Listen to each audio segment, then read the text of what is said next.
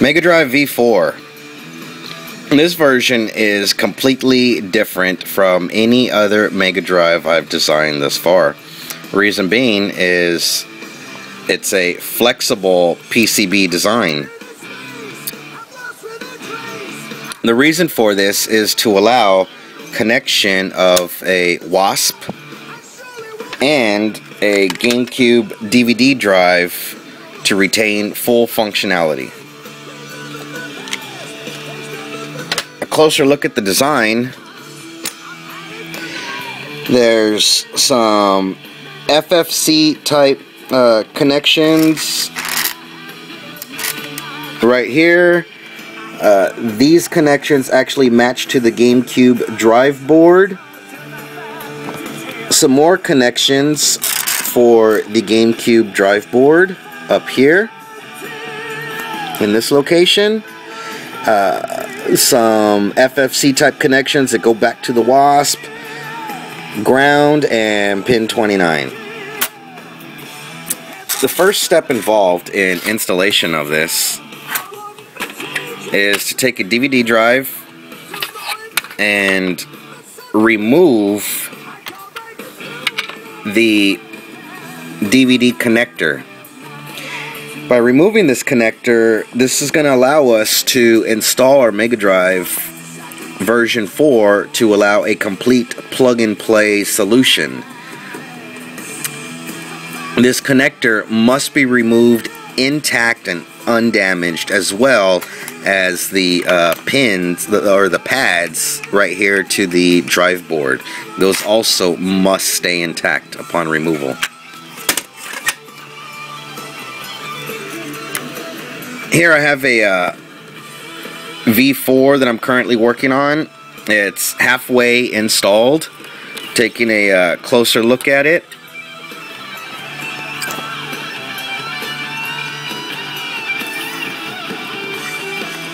The pads, let me bring this other one to the side. This is upside down. This is what's underneath here. So, all of these pads are actually reversed surface mounted on the DVD drive. Uh, upside down surface mount, reverse surface mount. I don't even know if there's a name for it, but uh, that's what it is. You have to solder these pads upside down, and uh, it's a little tricky. The next step is to flip this other side of the Mega Drive. And once that's flipped over uh, everything will match up. It'll lay flat. Everything will match up. And the DVD connector will be soldered on top of everything tying it all together. Now going back to the audio streaming pad that I pointed out there's one right here with a hole in it. And on the other side there's one right there.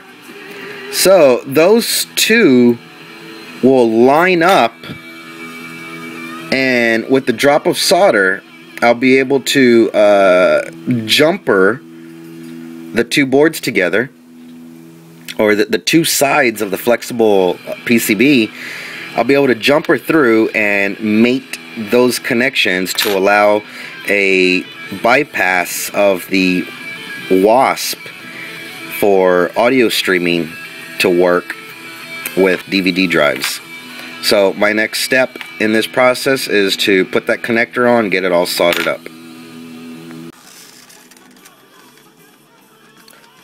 So current progress is I have installed the DVD drive connector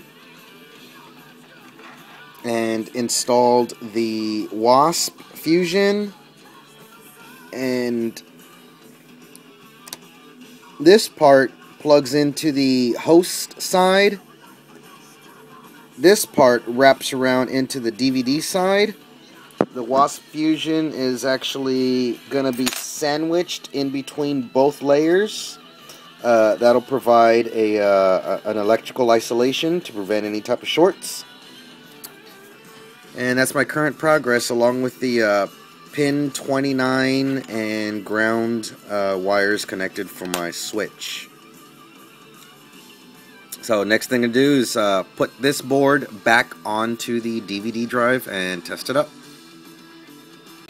Alright, drive is uh, put back on. Next thing to do is just put the uh, metal cage shell and then pop it in the GameCube and test it from there. The cage has now been installed and it's shut tightly with the card slot cable hanging out the side which will be mounted within the GameCube and time to plug this in and see what happens. At this point I now have the Mega Drive version 4 completely installed and assembled onto the GameCube console. The Mega Drive V4 with the Wasp Fusion fits within the space between the top of this cage and the gap to the DVD drive board. My pin 29 switch and I got power and video connected ready to go. I have an SD card in the slot so this will allow auto boot. First thing we're going to see is the Wasp Fusion booting Swiss going into reading the SD card. Hit power.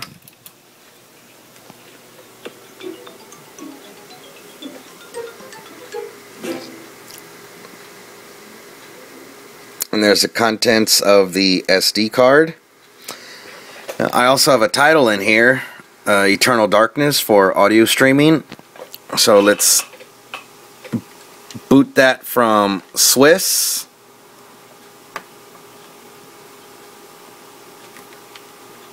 Uh, first you have to eject the card.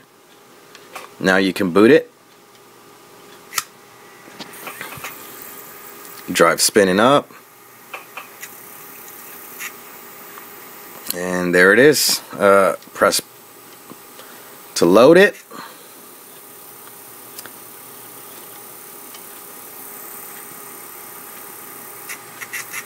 Deep into that darkness peering, long I stood, wondering, fearing, doubting.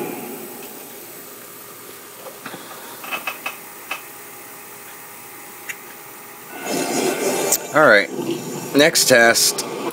Since the SD card is out of the slot, on next boot up, the disk will immediately spin up into a direct DVD boot. So press power.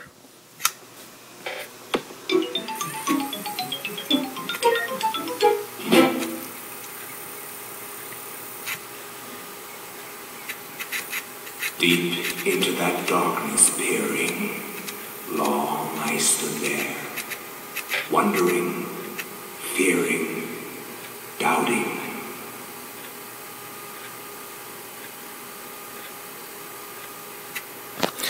So the great thing about this setup is taking it apart. Take the fan off, take the front controller board off, uh, unplug video, I probably don't need to do that, I'll unplug power, might as well. Okay, power's unplugged, and